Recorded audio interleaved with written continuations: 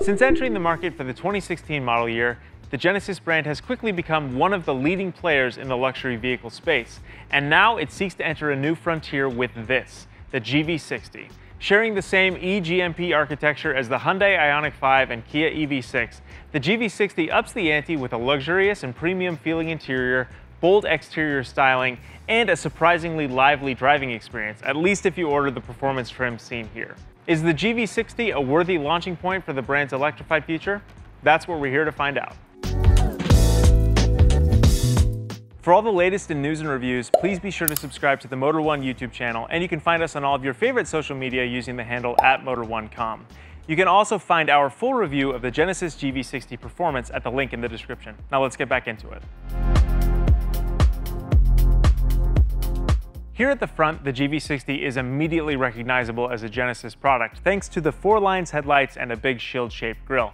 However, on the GV60, that grille has been relocated very low on the front bumper rather than in between the headlights like you might find on the G80 Electrified, for example. And that's because Genesis wanted this car to stand out even among its own lineup. Yes, this car definitely looks like a product from the South Korean luxury automaker, but it's far from a copy-paste job of the GV70. From the side especially, the GV60 has a look all its own. Now, admittedly, there are some carryover design cues like this clamshell hood that came from the GV70, but otherwise this car stands out significantly from other vehicles in the Genesis lineup, as well as the other two SUVs based on the eGMP architecture. Instead of those cars' bold creases and aggressive shapes, this is much more seamless and graceful and softer contoured. There are a few little details that keep the GV60 from looking too boring, for example, there's a pretty cool little chrome daylight opening that fittingly punctuates in a lightning bolt motif right here. And then on the back, there's a gloss black ducktail spoiler that helps the rear end keep from feeling too droopy. My favorite feature, however, are this Performance Model's 21-inch wheels. If you'll read Jeff Perez's review on Motor One, you'll see that he thought that they looked kind of cartoony, almost like a Hot Wheels or something like that. But to be honest, that's why I like them. This car just looks so bombastic and planted with this crazy wheel design at all four corners. Around back, there are a few more clues that you're looking at a Genesis. Most obviously, this big full-width word mark that spans the distance between the two lines taillights like you'd find on any other Genesis. Taken as a whole, the Genesis GV60 definitely has softer contours compared to its stablemates from Hyundai and Kia, and that might not be to everyone's liking. But at the same time, it still has a few little details that liven up the design and keep it from looking boring like a melted bar of soap. It's definitely polarizing. I'm not sure if I like it, I'm not sure if I hate it, but I will say this. Every time I see one driving down the road, I like it a little bit more. Thankfully, the GV60's interior needs no qualifiers thanks to elegant materials, clever design features, and a robust technology package.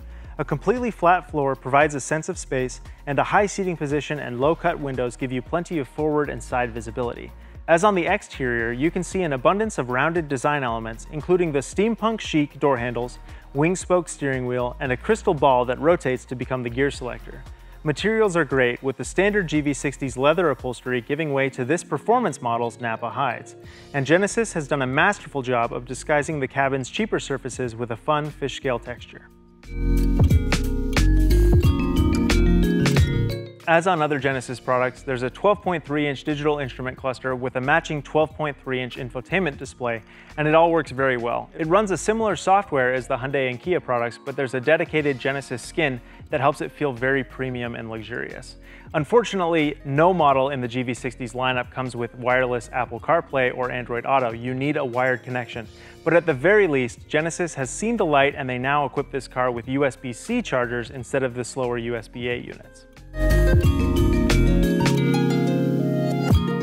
Now once you're out on the road, you won't be too surprised to learn that the Genesis GV60 feels a little bit like the Hyundai Ioniq 5 and Kia EV6, thanks to their shared platforms and wheelbases. That's not necessarily a bad thing though, because they all benefit from pretty good road manners and body control. This is a pretty comfortable place to spend a daily commute. Furthermore, the GV60 has the same wonderful i-pedal, one-pedal driving system as those other two vehicles. It's so intuitive and easy to use. There's these paddle shifters behind the steering wheel that allow you to dial in exactly how much regen you want from a pure coast to true one pedal driving that will actually bring you down to a stop. It's a great way to make sure you're making the most out of every last ounce of energy in that battery, while also giving you some additional stopping power. Speaking of slowing down, the Genesis GV60 Performance does have one pretty cool ace up its sleeve relative to the GV60 Advance. There's an upsized braking package that works together with that one pedal driving to give you all the stopping power you need just in case you overcook it into a corner like I'm about to.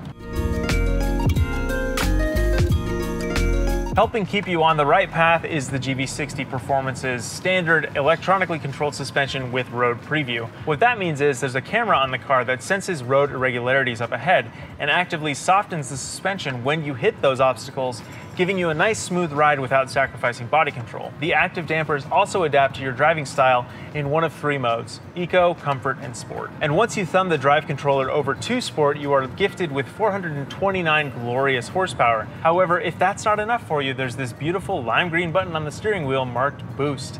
Hit that and you're rewarded with 486 horsepower for up to 10 seconds at a time, which is perfect for executing a two lane pass or a risky freeway merge, or just putting a smile on your passenger's face.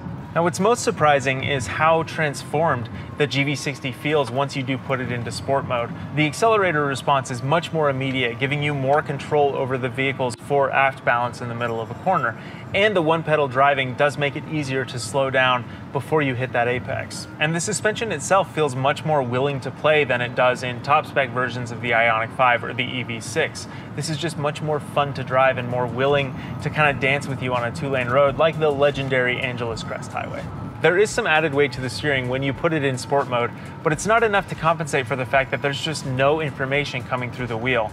I'm driving pretty close to the limit, which admittedly isn't very high given this vehicle is riding on all-season rubber instead of dedicated performance tires, but that doesn't change the fact that I can hear the wheels scrubbing out before I can feel them. It's kind of a bummer given that this car has the word performance in the name, but apparently if you're not Porsche, it's just too difficult to build an EV with a chatty, talkative steering rack.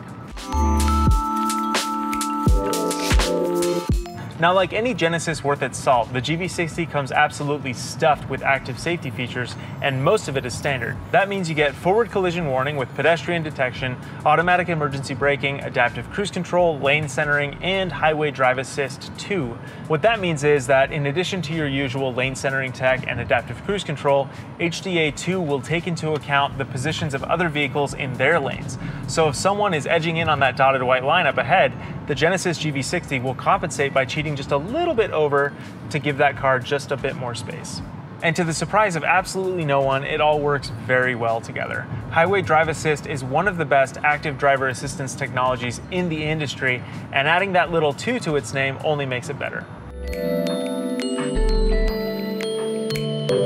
Now, once you've had your fun out on the open road and it's time to recharge this thing, the Genesis GV60 will leave you with an open battery after about seven and a half hours using a household wall box. However, one of the benefits of the eGMP platform shared with the Hyundai Ioniq 5 and Kia EV6 is an 800 volt architecture that accepts a DC fast charge rate of up to 350 kilowatts. If you're lucky enough to find one of those fast chargers, you can expect a 10 to 80% charge in 18 minutes, one of the fastest speeds of any electric vehicle on the market today. On the more commonly available level 2 charging, you can expect a 10 to 80% charge in 48 minutes or so. That battery is fully replenished, the Genesis GV60 Performance will cover 235 miles on a single charge. If you don't need the extra power and you're okay with smaller wheels and brakes, the Genesis GV60 Advance can cover 248 miles on a charge. However, it has to be said that both of those numbers are slightly down on the cheaper Hyundai Ioniq 5 dual motor, which can cover 256 miles as rated by the EPA.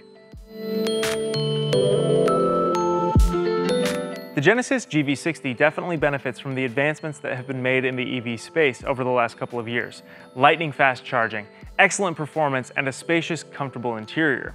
With a base price of $58,890, however, I'm not totally sure that the GV60 is worth the extra cost compared to a similarly equipped Hyundai Ioniq 5 that actually has a longer range on the freeway. However, if you're gonna spend the money on a Genesis EV, I definitely think you should go for the GV60 Performance model, which has some palpable real-world updates that make it more fun to drive on a daily commute and actually pretty hilarious on a twisty canyon road. With a base price of $67,890, this particular vehicle costs just over 70 grand when you account for the matte white paint and the destination charge. That's definitely a lot of money to spend, but you can't put a price on performance if that's your absolute goal. Thanks for watching.